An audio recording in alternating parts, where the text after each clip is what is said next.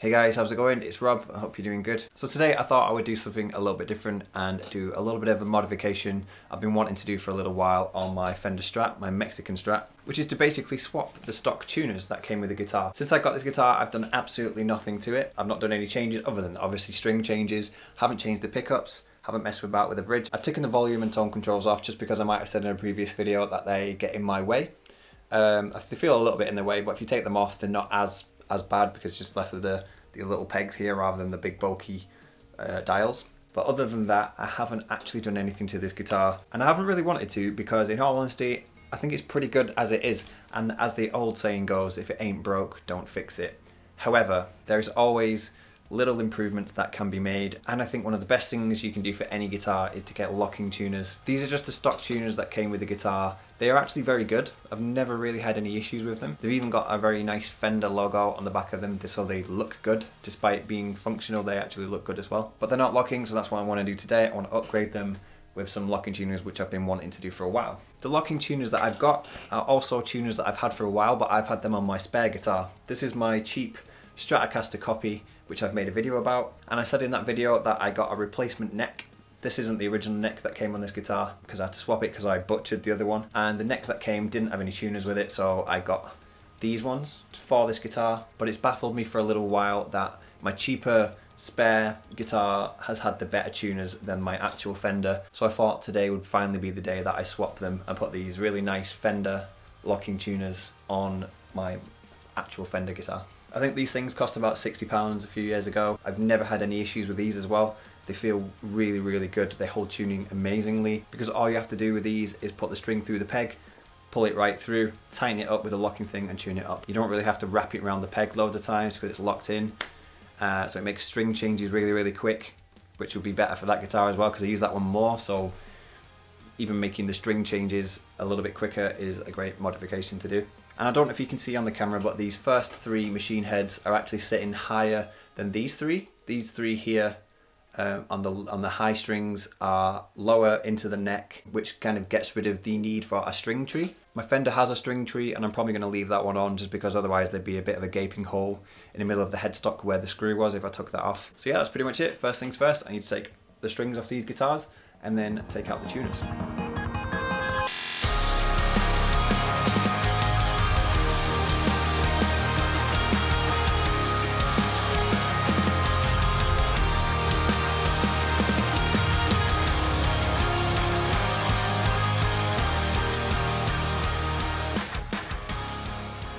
Okay, so all the strings are off and all I need to do now is swap the tuners. Rather than take all of the tuners off each guitar and then just put them all on and swap them that way, I'm probably going to do it one by one because like I said earlier, the locking tuners, three of them are smaller on the high strings and the low strings, the locking tuners are a little bit taller, the actual pegs where the string goes through. So I don't want to get them mixed up, so I'm going to do it one by one and just make sure that they're in the right place. Also, the original Fender tuners off my Strat are staggered. It looks like a little bit, so that um, as they go further down these pegs get a little bit smaller which I think is because that eliminates the need for more than one string tree that's why you only get one string tree here for the first and second string you don't need one for the third and fourth etc um, because they're staggered, they're at different heights. I don't want to get anything mixed up so I'm just going to swap them one by one. Also I remember the Fender locking tuners when I put them on this guitar, for lack of a better word, they have two little nipple sort of things on the back, two little notches.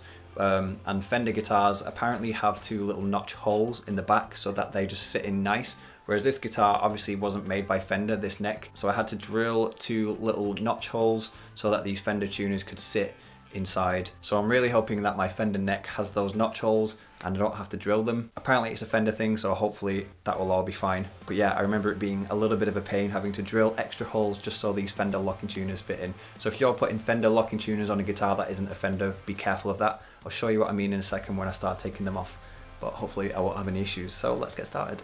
So here we are, I don't have a guitar rest, so I'm just using an old Boss tuner box to rest my guitar headstock on whilst I take these off. So I'm going to start with the high E string one first, and this is taking the original Fender one off, and let's take it off and see what it looks like. Here we go, this is the tuner I've just taken out, and it goes through the wood like that, and it's got this little bolt here that just sits on the top like that, that screws in, and that's what screws in your guitar. It looks like it's just this little circular bit at the top when you when you screw that on, but it's not. It's actually got this entire thread part there. So that goes over the top and sits in there like that. But as I said earlier about the Fender ones, if you can see these two little notches here either side, I'm glad to see those, which means that this guitar has those slots. If I just turn this over, hopefully this will come up on camera. It has the hole for the tuner and these two little notches here for the Fender locking tuners to sit in. So that's good news. So that means there's no drilling required for me to do this. So I'm really happy about that. So as I said earlier, I was going to take them off one by one and swap them one by one, but whilst I've got this here, I may as well just take these all off. And I'll just make sure that I keep them in the right order so that when I put them on the other guitar, I put them on correctly, etc.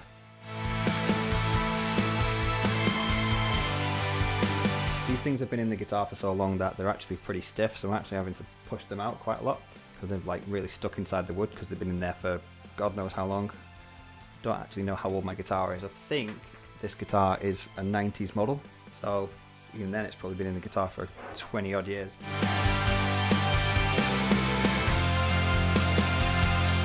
So here we are, here's all the six tuners that I've taken off. This is the high E string all the way down to the low E string. And as I said about the slots, hopefully you can still see that. You've got the holes here for the tuners to go through and these little notches for the little notches on the machine heads of tuners to go through as well, which is the same on the locking tuners that I'm about to put on. So I'm going to move these out of the way, but I'm going to keep them in this order so I know to put them on high E down to the low E back on my other guitar so that I don't get those mixed up because they're different heights. So it's quite fun.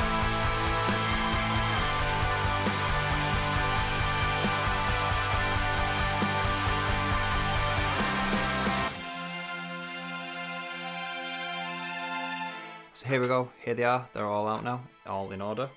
This one doesn't want to stay up, that's fine. There's always an awkward one, isn't there? This is the low string and this is the high string. These last three ones here that I took out, they did not want to come out of the guitar, so I had to give them a little tap with my screwdriver just to get them out. But that's fine, they're all good. And let's give you a, a closer look at these Fender locking tuners. They just look amazing. Hopefully you can see this on the camera, but they've got the nice F, Fender logo F on the top there, which is the turny dial. You just turn that to lock the string in, perfectly in tune, which locks the string in a little machine head peg at the top there. So you pull it through, lock it in, tune it up, good to go. With these two little notches on the side as well to sit in the little recesses in the wood. Just a little Fender thing there. So like I said, if you don't have a Fender guitar but you get some of these tuners, just be aware of that. And that's it. Now I'm going to put them on my Fender guitar.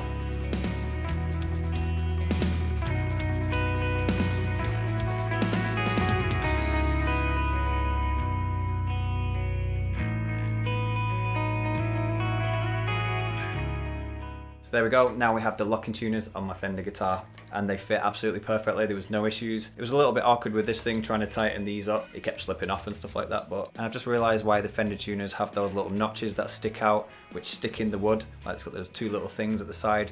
Um, I'm pretty sure it's because when you're tightening up this screw at the front here like that, these aren't then going to twist whilst you're trying to tighten it, the notches hold it in place. So that's why I think those are there and if that's the case then that's a great idea.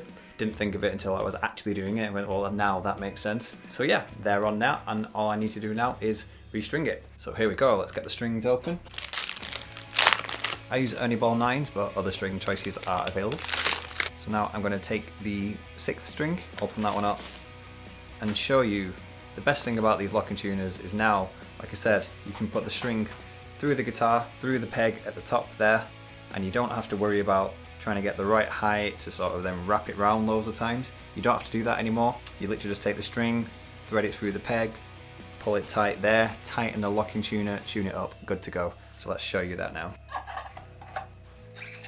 And obviously before you do this, make sure that the all the locking screws at the back are undone so that you can tighten them later. So make sure that the hole is facing the way that the string is going. So I can just put the string straight through there, pull it tight, pull it through there, pull it tight there. See, not wrapped it round. Turn the screw at the back to lock that string in really tight. There we go. Now tune the string up.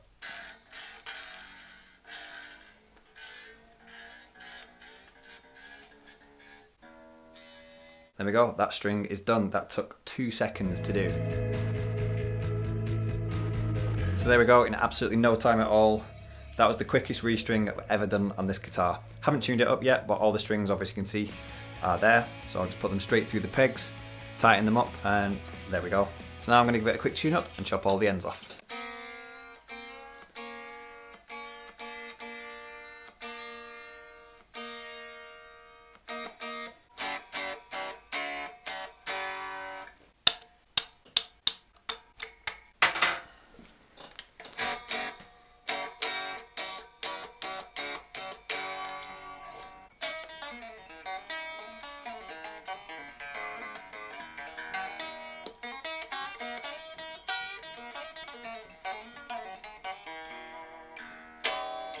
Excellent, so I've just given it a quick tune up only by ear, I don't know if it's accurate, I just tuned it up to what I think is roughly around standard tuning. So there you go, that is my Fender guitar now upgraded with Fender locking tuners which look great and I, like I said, I can't believe how quick that was to restring.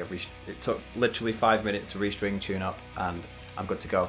So if I had to restring in a rush, maybe at a gig or anything like that and I had no time to do it, either in between sets or something like that, or between sound check and actually playing the gig. If I didn't have time to restring beforehand uh, and I'm in a rush, locking tuners are the way to go. They look great. I keep saying that, they just look amazing. I really like the Fender logo on the back, so I'm really glad that these are on this guitar now. I can't believe it's taken me so long to actually do that. All this time, I've had the better tuners on the worst guitar, even though that guitar's not bad, but this is my better guitar, so now it makes sense to have the better tuners on my better guitar. The basic gist of locking tuners is that they lock the string into the peg there, so there is no slippage on the peg, the string doesn't unwind a little bit or slip at all, so that when you string it up and you tune it up, lock it in, and then the string isn't going to slip at all, and overall tuning stability should be improved. So I'm really looking forward to trying this out and seeing if there's any dramatic improvements.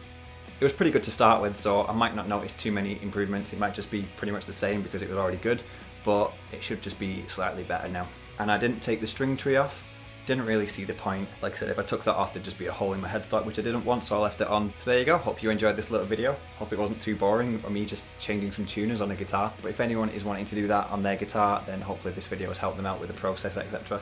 Things to watch out for. Or if anyone is curious about the Fender tuners, if they're any good, I've had these for years on my other guitar, never had any issues with them. They're absolutely great. So like I said, cost about 60 quid, I think, brand new. So I don't know how much they are now, whether they've gone down in price or they're about the same. No idea. I'll put a link in the description. I'll try and find some where you can get some uh, if anyone's interested in getting some of these. So check that out. And yeah, hope you enjoyed this little video. If you did enjoy this video, then please click here to see another, click down here to subscribe to my channel, and hopefully I will see you in my next video. Thanks for watching.